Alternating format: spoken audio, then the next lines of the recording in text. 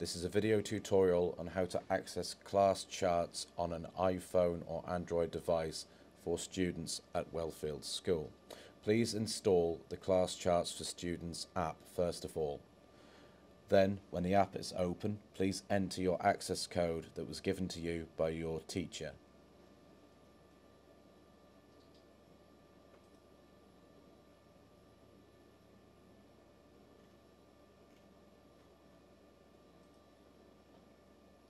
Then please enter your date of birth.